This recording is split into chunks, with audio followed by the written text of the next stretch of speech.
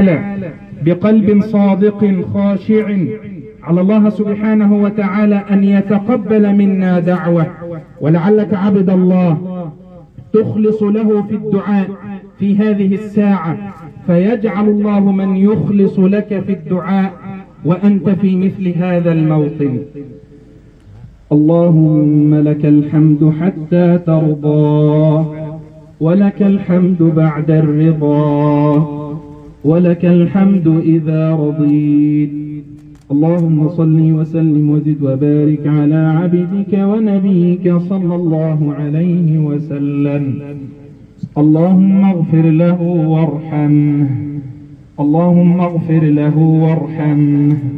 عافه يا ربنا واعف عنه. اللهم وأبدله دارا خيرا من داره. وأهلا خيرا من أهله وولدا خيرا من ولده. اللهم واجعل قبره روضة من رياض الجنة. اللهم واجعل قبره روضة من رياض الجنة. ولا تجعل يا ربنا قبره حفرة من حفر النار. اللهم واجعل قبره نورا.